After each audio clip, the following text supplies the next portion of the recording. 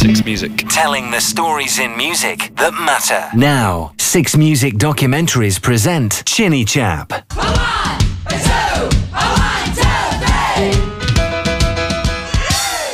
I'm Suzi Quatro, and for the next hour or so, I'm going to be your guide on the Kitsch Express as we take a ride down Devilgate Drive back to the days of glam rock and bubblegum. A time when men wore the makeup and women wore the leather trousers. Well, I did anyway, and it was a time when the pop single still counted for something. A time when Mike Chapman and Nicky Chinn, two guys from different backgrounds, came together to create the first UK based production line, writing and producing songs for people like Sweet, Smokie, Mud, Tina Turner, Blondie, and me. Welcome to Chinnichap, a journey into the heart of glam rock and beyond. And oh, I just couldn't resist starting like this.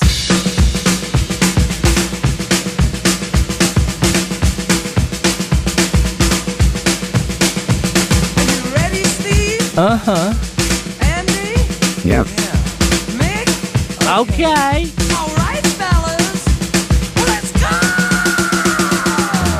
I would say they were the biggest pop producers in this country and Europe probably for the 70s really. Like the Stock Aitken and Waterman of the 70s.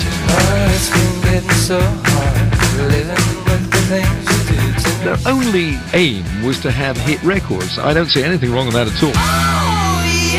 They were great pop singles. They were good fun records as well. Great dance records. Great radio records. Can't ask for more than that. There were literally hundreds and thousands of other people trying to do the same thing at the same time, and they didn't make it. So one's got to say, well, hang on, these guys are good. The great slices of pop you've just heard a group of middle aged men getting hot under the collar about were written and more often than not produced by Mike Chapman and Nicky Chinn. Mike was a straight talking Queenslander, and Nicky was a typical English ex public school boy. And together they called themselves Chinnichap. In the early and mid 70s, Chinnichap dominated the music industry, and Mike Chapman went on to dominate quite a chunk of the 80s as well. In one week in 1974, the top three singles were all Chinnichap songs, and that's nearly a quarter of all singles sold in Britain. In those days, that wasn't a small amount. It meant a million or more singles in one week. Mud's Tiger Feet was at number one. At number three was Teenage Rampage by Sweet. And guess who was happily sandwiched between those nice boys at number two? Yeah, you knew it. That was yours truly with Devilgate Drive, and I did get to number one, by the way. Hey, y'all want to go down to Devilgate? Anyway, what I'm saying is, Chinn and Chapman have had a hell of a lot of hits, and that's why we're telling you their story, okay? Let's go. Like so many rock and roll tales, this one really begins in the mid 60s. But unlike almost all of them, it started in Australia, where one young Queenslander harbored serious pop ambitions. And so, along with people like Rolf Harris, the Easybeats, and Clive James, he decided that migrating to London was the thing to do if you were an Aussie with ambitions in the popular arts. Here's Mike Chapman. All I ever cared about was music. There was nothing in Australia that was powerful enough to actually keep me there. So I had to get out of there and I had to go somewhere. I jumped on a plane, flew across the world, and landed in London. In the middle of probably uh, one of the most exciting times uh, London has ever seen. Having settled in London's Earl's Court, Mike got on with getting a band together. It was called Tangerine Peel, not to be confused with progressive rock group Tangerine Dream. I started writing songs in 1967, 68, based on a catchy hook. It was based on uh, a title that would uh, catch people's ears. It was really the birth of what I was going to go on to do. It was in 1970 that Chapman met Chinn. Nicky was as polished and as charming as a car salesman, which wasn't surprising, as that is what he was doing for a living at the time. But as well as selling cars, he was also driven, no pun intended. You see, Nicky was an aspiring and ambitious lyricist who had already come up with a number of songs for the Peter Sellers movie Girl in My Soup. Nicky Chinn suddenly appeared in my life. He was uh, hanging out in the club, told me he was trying to write songs. I said, well, hey, let's uh, give it a shot and try it together. Which we did. Just a few days later, uh, I always remember it was a beautiful day in June. He came to my flat. We got started writing some pretty goofy, silly things. All of which were no good. But that wasn't really the issue. We knew there was a chemistry. Singles made big money, and the music biz attracted a lot of skilled songwriters to it. Success might still be a long way from Nicky Chinn's flat, even if it was in Mayfair. In fact, success was just around the corner in Charles Street. Nicky Chinn did what he did best. He wined, dined, and charmed the right person, and acquired the home phone number of one of the biggest men in pop, Rak Records boss, Mickie Most. Most had made hits for the Animals and Herman's Hermits, just to name a few. Nicky secured an appointment for Mike and himself to see Most. Here's Mike and Nicky remembering a scene that must have looked like an audition for 1960s pop idol. We had, I think, five songs to play him. Mickie kept saying, no, no, don't like that. Anything else? And I said, well, here's a sort of bizarre little song about Red Indians. He said, fantastic. That's a hit. Tom, Tom, that soon to be hit was Tom Tom Turnaround. Mickie Most gave it to Rak Act, New World, and the vocal trio took it to number six in July 1971. Tom Tom wasn't Chinnichap's first hit, but it was their first for Rak Records, the label with which they became most closely associated. Mike and Nicky had given an earlier song to a band called Sweet, formed by singer Brian Connolly and drummer Mick Tucker, both of whom sadly are no longer with us. Like the New World single, the song Chinnichap gave to Sweet was catchy, alliterative, and kind of silly. The pop world had a name for this type of music, and it was called bubblegum. And for a while, Mike Chapman became a bubblegum genius. But Funny Funny wasn't just saccharine, it was sugar sugary.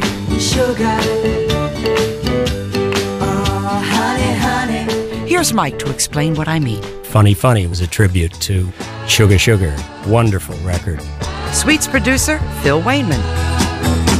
Mike and I went into the studio and did three demos. One of the songs was Funny Funny. And Phil said, I've got a band. They would be great singing this song. Tell me, is it really true? This feeling that I feel for you. Nicky Chinn. He put us together with them, which of course was the start of a very long run. And then we signed them with RCA. And it's so funny, funny what you do, honey, honey. Here's sweet guitarist Andy Scott, who didn't join the band until after Funny Funny. But don't let that little fact put you off. In those days, it wasn't unusual for records to be released without any members of the band playing on them. So the fact that Andy wasn't in Sweet at the time didn't really matter. None of the boys played on the record, they just provided the vocals and harmonies. when we all got together, all the backing tracks were all in place for some of the early stuff because apparently Phil had earmarked Brian to go and sing some demos for Nicky and Mike. The first single was from that original demo session, and Funny Funny was obviously the best track from the half dozen that they'd recorded. We cut the track, and the track sounded fantastic. And you know, honey, honey, though it's so funny, funny that you mean all the world to me. Chinnichap's career went off like a rocket. Can't imagine love. We first started working in June of 1970. We had our first hit in under nine months or around nine months from being together, which is, is quick. They were hungry, exciting times. Mike Chapman did the lion's share of the songwriting, originally on a battered old guitar with only four strings. Nicky Chinn helped out but was kept busy wheeling and dealing with record companies and the media. The pair provided a string of hits for Sweet, which producer Phil Wainman cut with session musicians. According to Phil, Mike had a genius for emulating the hit formula of the day. Mike Chapman's talent was writing to order, and that's spot genius. It was bubblegum, and Sweet developed not a bubblegum band at all. The band was really a rock band, seriously uh, loud and aggressive and all about attitude. Funny Funny was about attitude, but not their attitude. So it was like uh, chalk and cheese. But Sweet's production team continued to ignore the band's rock aspirations and came up with a song that sounded like Montego Bay, but with an even more stupid chorus, if that's possible. We figured, well, let's just stick with the format. When I first wrote uh, the chorus of Coco, they all looked at me. They said, What does that mean? I said, it Doesn't mean anything. Just sing it and shut up. And it was a bit of fun. Ho chi kaka ho. I mean, you know, there was nothing serious about what we did, but it sounded all right. But Sweet were much too good a set of musicians to be kept off their own records forever. And when they finally started to play on them, the records got harder and sharper. It wasn't until uh, Little Willie that Phil, who was still the producer at this point, said, okay, maybe the band can play on their records now. Records started to sound better, really. Little Willie was the beginning of the real Sweet.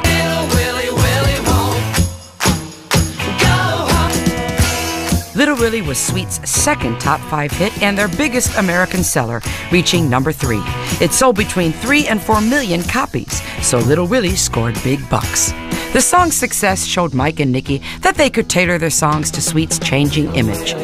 From Little Willie into Wigwam Bam into Blockbuster, the Sweet were starting to turn into what they had always wanted to be. It still wasn't quite heavy enough for them. It was still a bit too melodic. It was still a bit too catchy.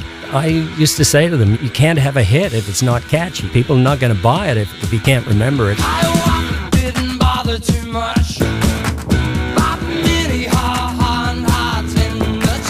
The country was in a lot of trouble. Noddy Holder. When glam rock came along, it gave people a chance to get out of their everyday lives, to dress up in colourful clothes. It was fantasy land. It was power pop. That's what it was. From being pop, it became power pop. Power pop sort of led into glam rock.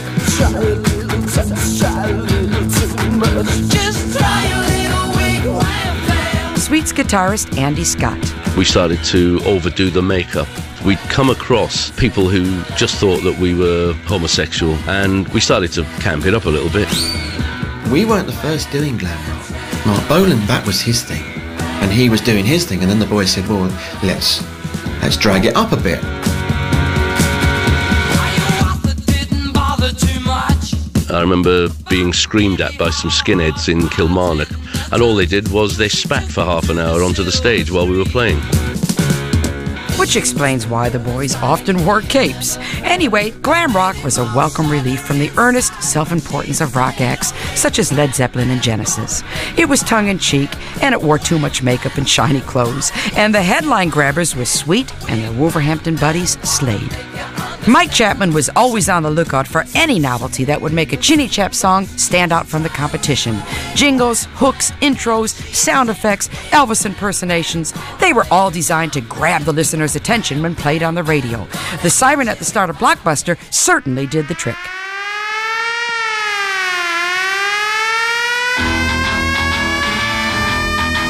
From that moment on, we knew we had something. The song was basically about some little dude called Buster. He's trying to get away from the cops. Because of this cops and robbers sort of vibe, I thought, let's put a siren on the front of it. To me, the depth of meaning in those songs really wasn't that important. It was the words and the way they sounded and the way they fit with the music that was important. Sweet's most outrageous character was bassist Steve Priest, the non denominational vicar of glam. Mike Chapman's tricks owed more than a little to Steve Priest's antics. We just haven't got a clue what to do. Here's Andy Scott. And maybe that was the extra yard that was needed to make Blockbuster, you know, the siren, Steve bits, you know, all that kind of stuff, t- to make it a number one, you know? At the start of 1973, Blockbuster became Chinnichap and Sweet's first UK number one.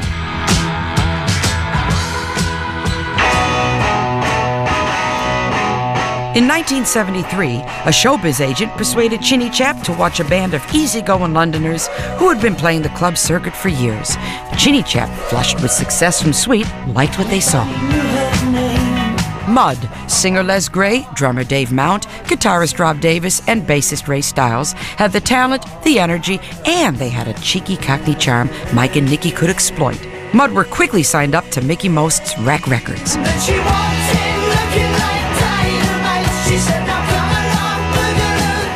Here's Mud guitarist Rob Davis. He's written a few hits of his own now, you know. Remember Groove Jet by Spiller or I Can't Get You Out of My Head by Kylie? They sort of whisked us off our feet. I mean, we're so naive. They said, right, we're going to make you stars. We've got your first two hit singles and things like that. And we went, okay, all right, it's better than what we've been doing up to now. We might as well have some. Mud had a couple of minor hits before they broke through with the song that Chinnichap had originally written for Sweet. Nicky Chinn remembers. Sweet turned down Dynamite.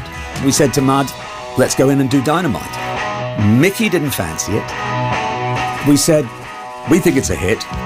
We put it out, and I think it was about number 20 or something like that. They did Top of the Pops and went straight to four the next week. It wasn't until we cut Dynamite with them that their own personalities started to uh, surface. And they started being that party band that they turned out to be. Mud were a colorful bunch of guys. Les Gray was a natural showman, drummer Dave Mount was a comedian, and Mud's own version of Steve Priest was Rob Davis. You know, the geeky guy with the perm, the Christmas bauble earrings, flared chiffon jumpsuit, and that unconvincing smile. He might not have been Marilyn Manson, but in those days, the sight of someone looking borderline transvestite on TOTP was frankly OTT, you see. When we got to um, Top of the Pops earlier on, this guy was designing our clothes was sort of camping it up for me. Then um, the wardrobe at Top of the Pops came down with the earrings, so it all got worse and worse by the record. The flares got bigger, the earrings got longer, and it all got a bit out of hand. You know? The band was uh, pushing Rob to go to extremes because they had seen how Steve Priest had uh, been so effective with the Sweet doing that similar sort of thing. And I think they figured, well, hey, we got a guy like that. And Rob always looked a little uncomfortable with it because I think he was. I said I get down, get with it.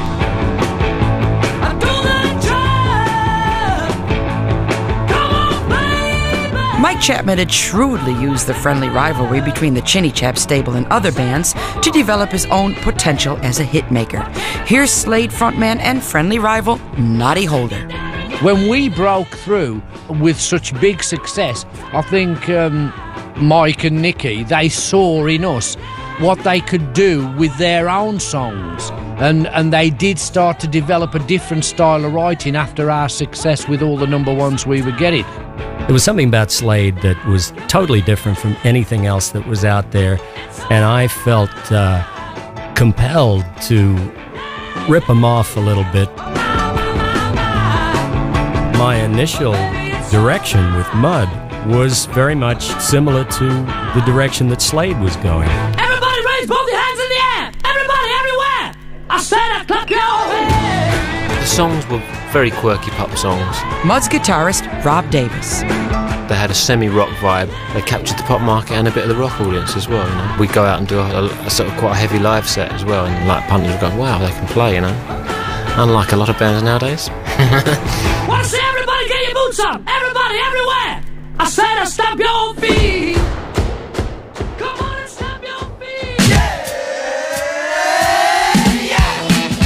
Mud's biggest hit and one of Chinnichap's best sellers came in January 1974 when Tiger Feet beat off the Sweets' Teenage Rampage to reach number one. It's a song that owes a lot to a can of white paint and yours truly.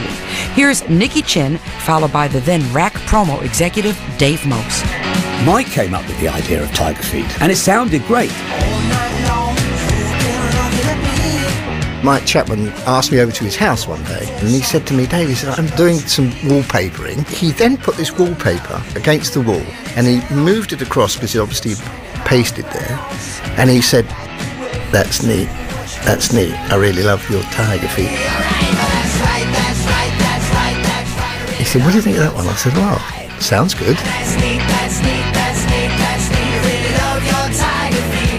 Yes, there were stripes of my wall paint on my feet, and yes, indeed, that's where Tiger Feet came from.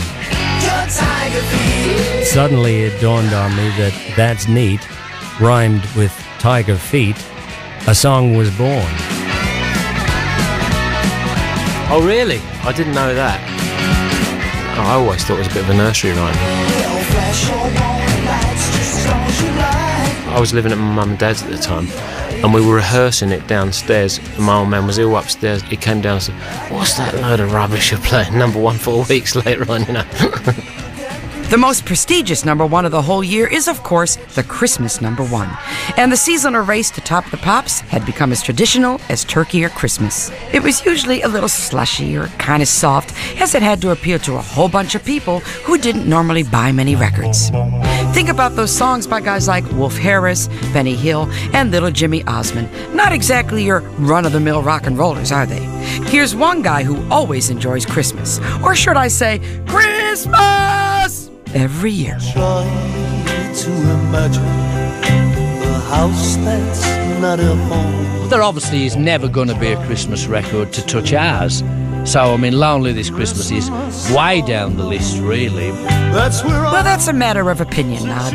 And it certainly didn't stop Chinn and Chapman from having a go. So, on a hot summer's day in 1974, they sat down to write the perfect Christmas song in an attempt to get Mud to the top slot. Here's Mike Chapman. it'll be lonely this Christmas. One of the ambitions of every English songwriter and record producer is to come up with that big Christmas number one.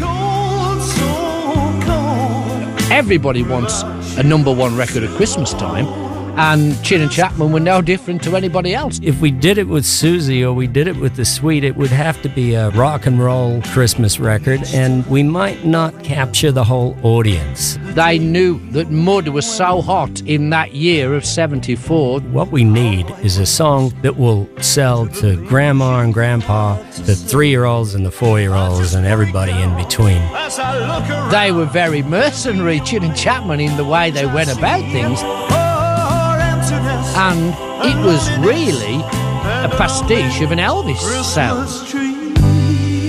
It'll be lonely this Christmas. And the record was ready in September, and I think everybody knew when they heard it that somebody was going to have to have a damn good record to beat us to number one. It was an absolute smash. It was doing about 90,000 a day at one. And it was number one, embarrassingly for Top of the Pops, into about the third week in January. This Christmas. In the end, I think it was the sentiment of the song that took it to the top of the charts. Merry Christmas, darling, wherever you are.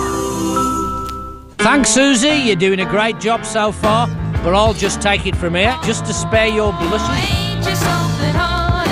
Suzi Q had a more distinguished track record than some of the Chinnichap acts that had preceded her. I started really, really young. My father's a musician. He raised all his five kids with musical training. We had our choice of anything we wanted to do. Well, I played bongos at seven in my dad's band. I then took classical piano for about six or seven years. And then at 14, I taught myself bass guitar, joined my first band, and we went immediately on the road. So from 1964, I was professional. In 1968, Suzi formed Cradle, a family band which featured her sister Nancy on vocals. I was playing with groups like um, MC5, Bob Seger, Ted Nugent, Iggy Pop, Alice Cooper. Mickie was in America, in Detroit. He spotted her as the talent. She was playing bass. Mickie saw the show and he called me to the back of the hall and he said, Would you like to come to England? I said, Yeah. Um, what do you do? Of course, I knew what he did. He said, I'm a producer. I said, Oh, what's your name? He said, Mickie Most. I said, Oh. He said, So would you like to come? I said, Well, maybe. A year or so later, after Cradle had split, Suzi arrived in town. Mickie made an album with her. That didn't happen. I was going stir crazy. I didn't have a band together. I've never been off the road since the age of 14. I said to Mickie, I can't stand it anymore. I've got to do some gigs. So he said, okay, get a band. So I advertised in Melody Maker, formed a band, and we started to work. At some point, I think we did the Slade tour in 72. It was 73, I think. Thanks, Noddy. My pleasure. Okay. And Mickie had just signed up these two new writers, Nicky Chinn and Mike Chapman. And he said to me after the tour, Would you mind if I sent Nicky and Mike along to one of your shows, let them hear all your original material, and see if they can come up with a three minute single? So they came along, and Mike went away that very night and came up with Can the Can.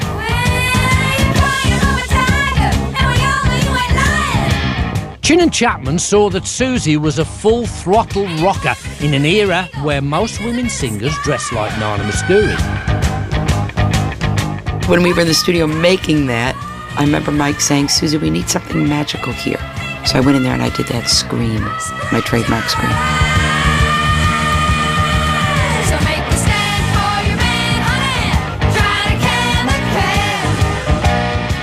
Everybody went number one. Put your man in the can, honey. I was a biker girl. I had leather jackets. I had blue jeans. I was real rock and roll. The guys fancied her, and the girls were able to say, Well, I'd like to be like her. She didn't alienate the girls. They were ready to accept an American doing that. They wouldn't have been able to accept an English person doing that. On the scene at that time, no girls were making it. I think her number one was the first since Olivia Newton John. It wasn't a girl era. I was the first one to go out there with a bass guitar and play it properly, lead the band, play poker, spit, drink, but keep my femininity. And nobody will deny that I was totally feminine. Ballsy, but feminine. But what did the title mean? How can you can a can? Can the can is basically an impossibility. If you get one can of the same size and try and put one inside of the other, you can't. That's really what can the can is. Put your man in the can, honey. Well, she can't. It never really had any meaning, but uh, I could give it a lot of meaning. There's a phrase in America where you say can it, and that means keep it safe. So can the can means like put your man somewhere safe. Mike used to use all my Americanisms and twist them into just little catchy phrases, even 48 Crash. I think 48 Crash is the best title of a song that I've ever come up with. They used to always say, oh, he's going through the male menopause. I said male menopause. He thought, hmm, when do men go through the male menopause? And he thought 48 Crash. That's what it's all about. Yeah, it's a midlife crisis song.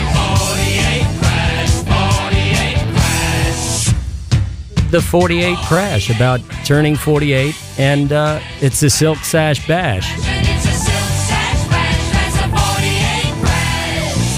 We had Can the Can, 48 Crash, Daytona Demon. And then it got to like 1974. Welcome to the die. We made the first album, we'd done very well, sold a lot of records. And I remember Mickie saying to Mike, so funny, he said, Mike, now we need another number one. Mike went, fine. And he went away and wrote Devil Gate Drive.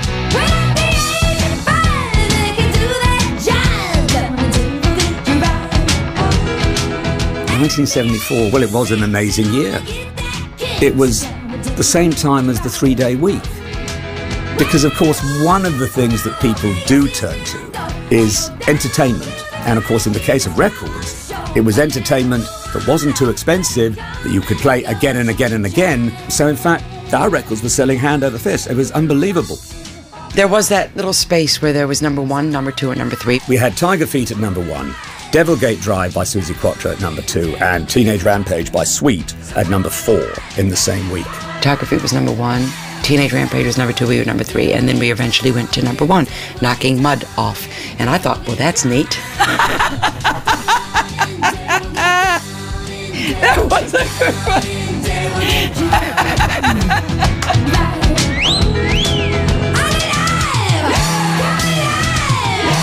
There you go, Suzi. Not too embarrassing, I hope. Thanks, Noddy. Not at all.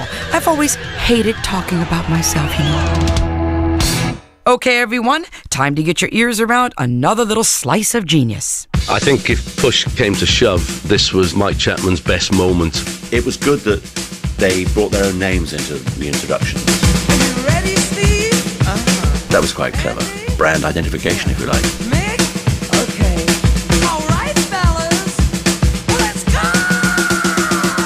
Was so sort of camp, it was brilliant. I had never heard a record that actually introduced a band.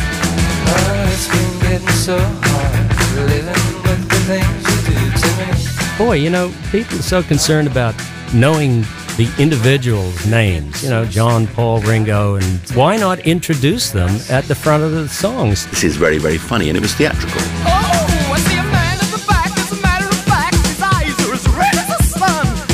I think we pulled it off. everything. She's the passionate one. From that moment on, there wasn't a kid anywhere in the world that was a fan of the Sweets that didn't know their names. They were known individually.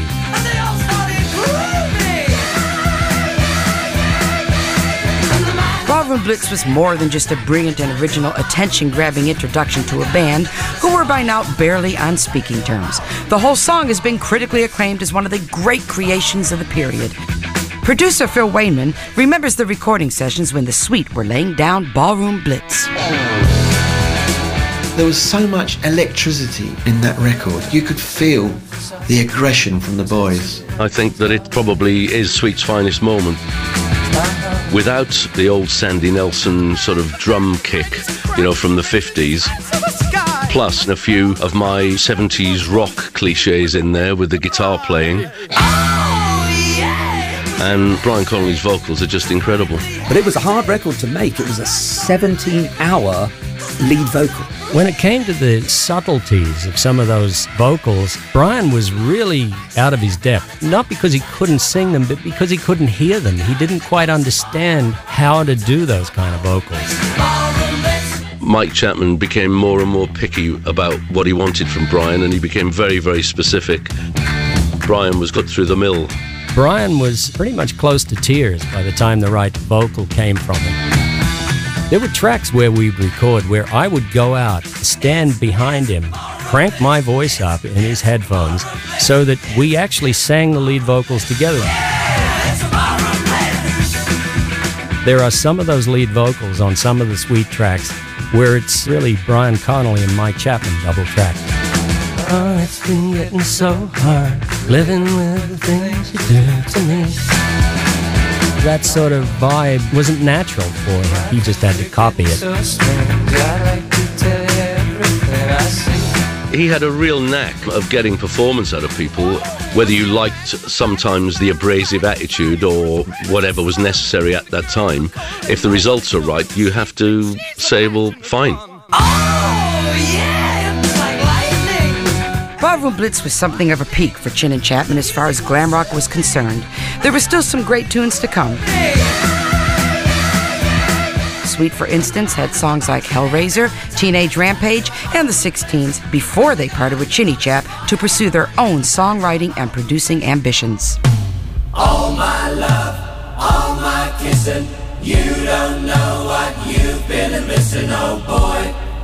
When you're with me, oh boy, the world will see that you were meant for me. Soon after Sweet defected, Mud too flew the Chinnichap coupe, but they left behind a large archive of session tapes from which Chinnichap and Rak plundered The Secrets That You Keep, Moonshine Sally, and an a cappella version of an old Buddy Holly number.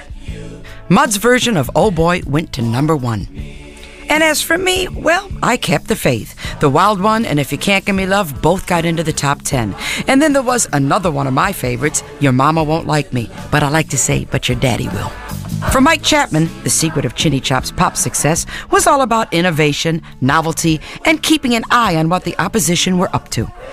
Eight top 10 singles, including three number ones in 1974, certainly marked a peak. But the music business was changing, and Nicky and Mike were shrewd enough to sense it. Mike, in particular, was looking for a way to move forward. He began spending more and more time in America looking for inspiration and a way to forge a direction on his own.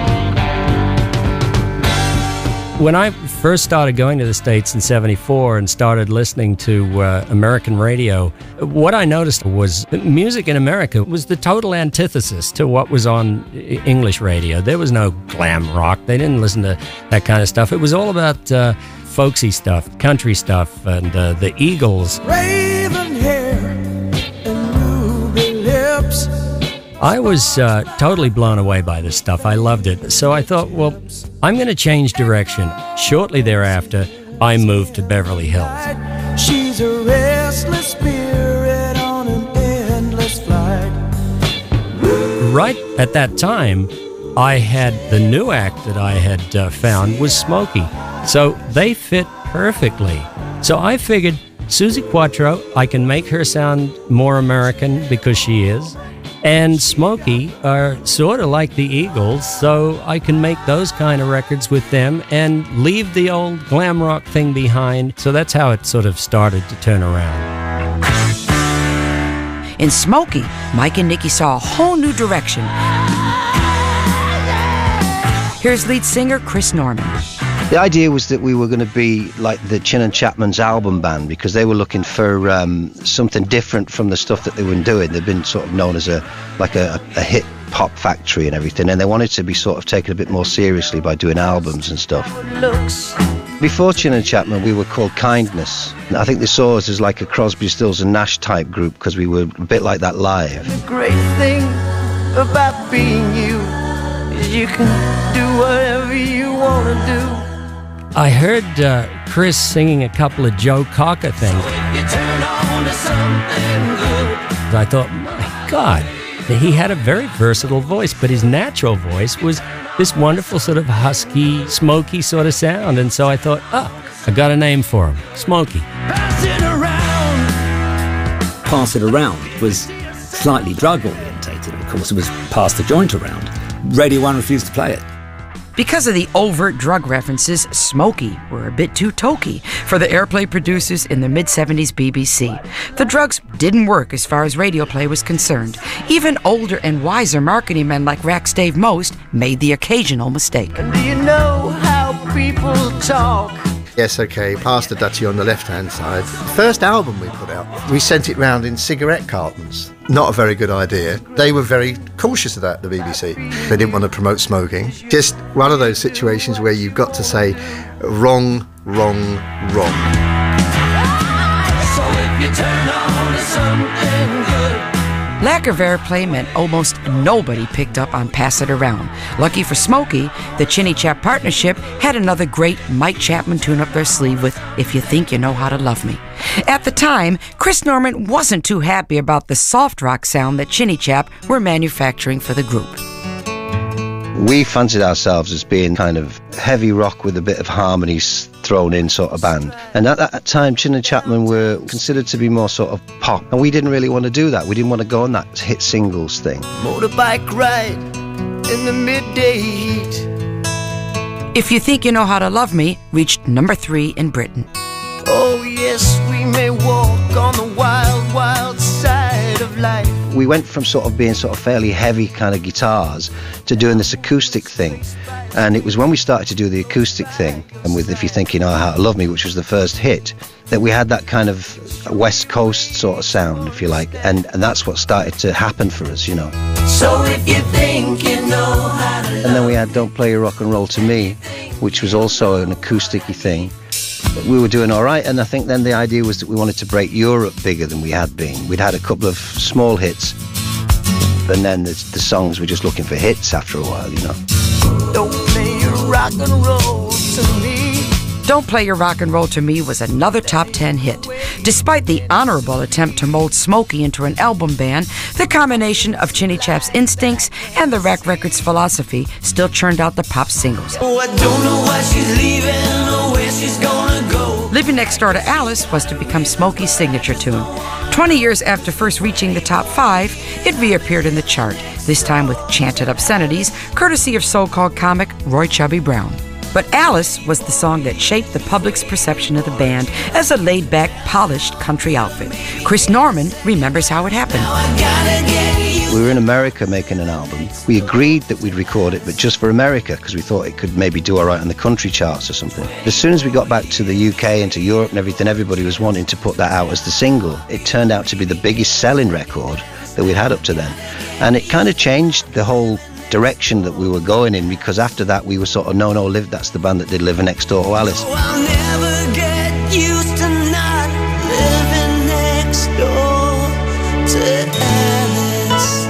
As we already said, Chinnichap's interest in Smokie showed that the great glam gravy train had run out of puff.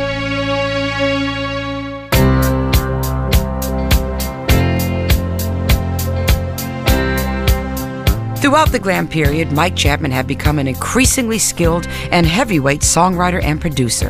He'd had some good mentors in Mickie Most and Phil Wainman, but for a long time, Mike had been thinking that he had outgrown his collaborators. He desperately wanted to pursue his own career, and for that to happen, he felt he needed to put some distance between himself and his partner, Nicky Chinn. For Mike, at least, the productive life of Chinnichap was all over. When I got to America, to me, that was my out. I realized that by moving there, I would be able to break this partnership up. Nicky Chinn. When things start to get difficult, it can get a bit like a divorce. When Nicky Chinn and myself started writing songs together back in 1970, we would uh, hang out at his apartment. I'd thump away on the guitar. He wasn't a musician, he didn't really have any knowledge of music. And out of that sort of hanging out together started to come some interesting but uh, somewhat lame little pop songs. Then, as the songs started to change, as the songs started to have more substance, I started to notice that I was growing as a songwriter, and I noticed that nothing was happening with him. I think it's a subjective and arrogant point of view. I mean, Mike seems to think that there were problems between us in the mid 70s.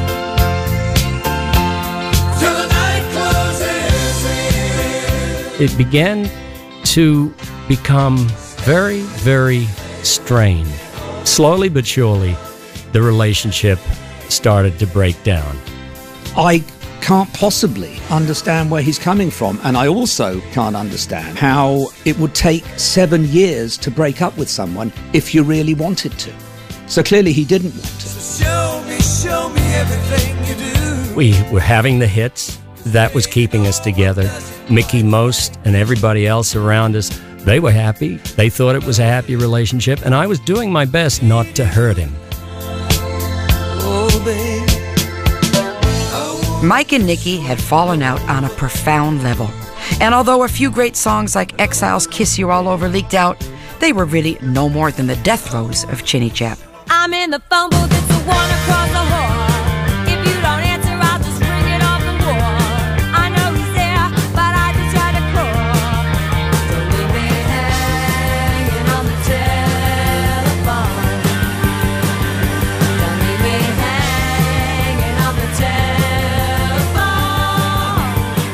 The irretrievable breakdown between Mike and Nicky was signaled to the rest of the world in 1978 when Mike Chapman was called in to produce songs for new wave flag bearers Blondie. Here's Debbie Harry, Chris Stein, and Clem Burke from Blondie. We were playing at the Whisky for a couple of weeks in LA. So Mike came down and uh, said he never laughed so hard in his life. At a And, um, performance, right? That was it. And um, we became best friends. he was a smart guy, and I think he saw the potential in the relationship immediately. I was very flattered because I knew who Blondie was. I was certainly aware of their presence in the underground punk that was going on in New York and LA. So I saw that as an enormous opportunity to uh, take another step, and a step that would finally give me some satisfaction in terms of credibility. Credibility was something that Mike was certainly justified in craving. After all, although he's now regarded as one of the great pop songwriters and producers of the 20th century, it wasn't always the case.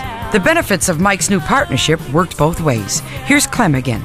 I was really excited about the prospect of us working with him because not only is he a great producer, he is a very interesting commercial songwriter. He's been involved with 70 number one songs, I'm told, which is insane, really. Together, Mike and the band made the Parallel Lines album. He had the experience to know what was required if he was going to turn Blondie into a commercial success.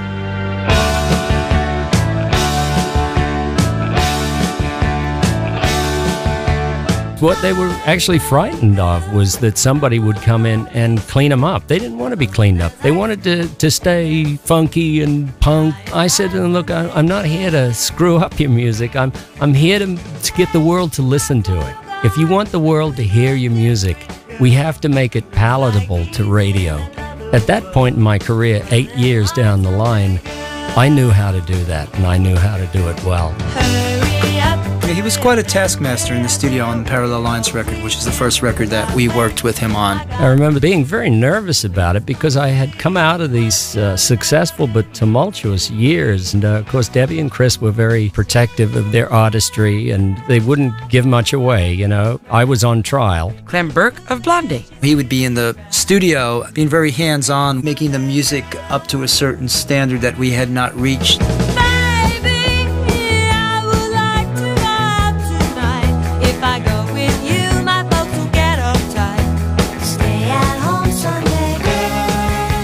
At last, Mike got the credibility.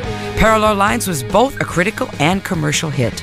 On singles such as Picture This and Hanging on the Telephone, Chapman smoothed the sharp punk edges into a more palatable sound, but one which still conveyed a thoroughly edgy attitude. It was something that Mike brought out in them the very first day they worked together. The album's third single was pure disco. It was also groundbreaking, and for the first time, it showed Blondie's versatility. That very first day at rehearsal, one of the songs they had played to me was called Once I Had a Love. I said, This is fabulous. How do you want to do this song? And she said, I love Donna Summer. I said, Okay, well, uh, let's make it Donna Summer. We took Once I Had a Love, and I said, Well, that's a bit of a clumsy title. You know, there's a great line in this song when you're singing Heart of Glass. I said, Maybe we should call it Heart of Glass. And she went, That's great, Mike. From that point on, it was Heart of Glass, and then we discoed it. Here's Chris Stein from the band.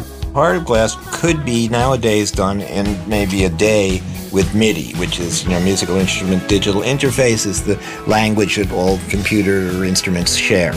Mike wanted every little nuance to be totally on time. Every 16th note had to be completely on the mark, and we just weren't used to doing that. Debbie looked at me and said, uh, You really made um, Heart of Glass sound great, Mike. Thanks. I just about broke into tears. She was this tough broad. I mean, she didn't want some glitzy, glammy pop producer coming in and screwing up her music. And she thought that's what I was going to do. And Chris said, Yeah, yeah, it's, uh, yeah, you really did a great job. Sounds uh, terrific.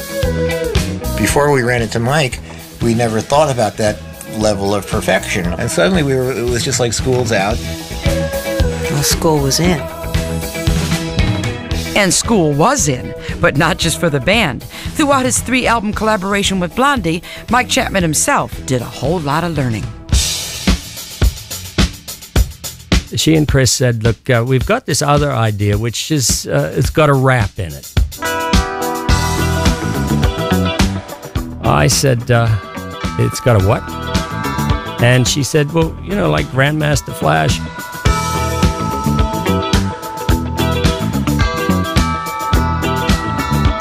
She and Chris were hooked up with these people in New York. They were always 10 steps ahead of me and everybody else musically.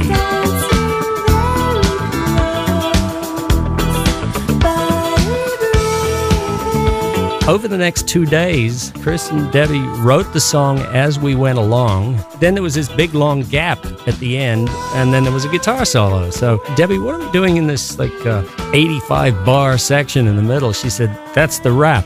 I used to do a lot of writing as I was singing. Mike sort of liked that. He was always, you know, what's going to go here, you know? So then uh, I finally had worked out the entire rap. So the two of them stood in front of me. I swear to God, in 10 minutes, they wrote that whole rap. And out she goes. And in, I think, two takes, she did the rap on Rapture.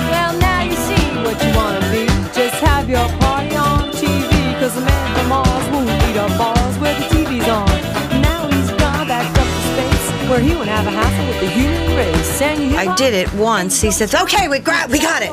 I think he was just like so Yeah. freaked out that he took it in one take and he never did that with me.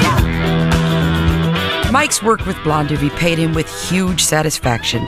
It set him free of his partnership with Nicky Chinn and showed the whole world that his talent was unique. Among the many hits he produced for the band were Dreaming, Union City Blue, Atomic, and The Tide is High. It was an amazing string. I have no doubt that uh, my work with Blondie and my experiences with Blondie were the most important thing that I've done uh, in the United States. Mike was now living in America permanently. During the late 70s and the 80s, he translated his talent into such stunning success that it's impossible to do more than give a taste of it in such a short program. But here's a couple of more highlights of Mike Chapman's American Dream. I accomplished the number one and two records twice. I had uh, Hot Child in the City and Kiss You All Over at number one and two together, and then they switched places.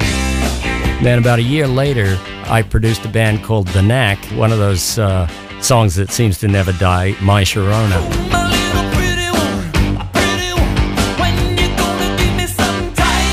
So I had uh, My Sharona and uh, Heart of Glass at number one, and they switched places too. I accomplished the number one and two twice, but never the top three. Did that in Germany. I think we had the top four in Germany in one week at one point, and the top three, of course, in England back in 74.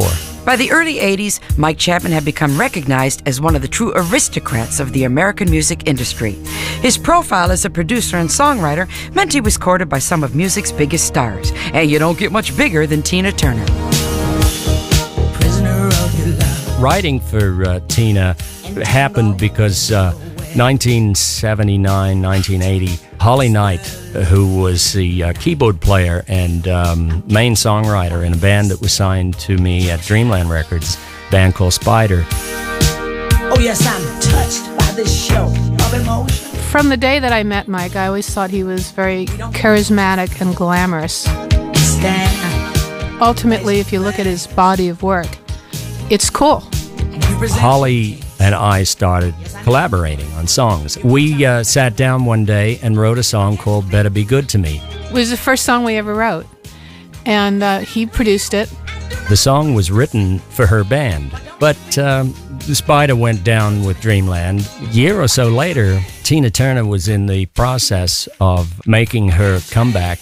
She flipped out over the song, absolutely loved it. I heard the story that she got up and danced around and said, This is great, and this is so me where I'm at lyrically. Next thing we knew, she was recording it, and it was a huge hit for her.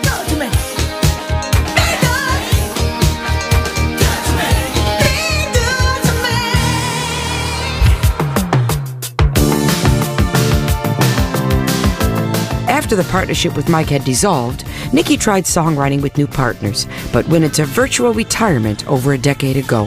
However, he still did manage a lot of the business side of Chinnichap. But now, Nicky has returned to his notebook and is working with Dave Howells of Stock Aitken Waterman, Steve Mac, Steve Diamond, and Jurgen Elofsson. He sees it as a great new start. Beyond glam, Mike Chapman wrote or produced hits for acts as diverse as Altered Images, Toni Basil, The Divinyls, and Lita Ford, and Pat Benatar, for whom he and Holly Knight wrote Love is a Battlefield. And although he never again became quite as prolific as he was at the start of the 80s, Mike, either together with or separate from his former partner Nicky Chinn, was largely responsible for sales of 40 million singles around the world. Mike Chapman's recipe for chart success is fairly simple, as he explains with reference to the monster hit he and Holly Knight wrote for Tina Turner. I've always looked at pop singles as sophisticated commercial jingles. The purpose of a jingle is uh, to sell a product, the purpose of a hit single is to sell an artist. So it was like this giant commercial for Tina Turner. I am Tina Turner. I am simply the best. And when she does her live shows, it comes across that way. It was amazing. He just somehow picked something that was sort of like a phrase of the 90s, you know. Even the term simply the best seems to be bandied around an awful lot more these days than it ever was prior to the song being a hit. It's quite astonishing the amount of commercial and advertising usage that that song has managed to conjure up. In America, everywhere you look, there's a place called the Coffee Bean, and their motto on everything that you see is simply the best. And then you look on like a car dealership, it's simply the best. Well, Mike, I think you're simply the best. And that's why I'm still working with you. And Nicky, you're pretty good too. I hope you've enjoyed this story of one of the most successful music business partnerships of all time as much as I've enjoyed telling you the tale. I'm Suzi Quatro, and you've been listening to Chinnichap, a journey into the heart of glam and beyond. You're simply